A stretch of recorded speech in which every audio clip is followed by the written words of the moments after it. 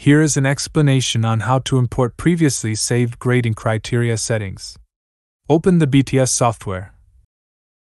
Click on the icon in the top right corner and select Grading. To open the grading interface.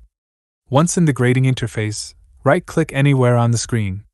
Select Load Template to open the previously saved grading criteria settings. The imported grading criteria settings will now be applied and visible in the grading interface. That wraps up the entire demonstration. Thanks for watching.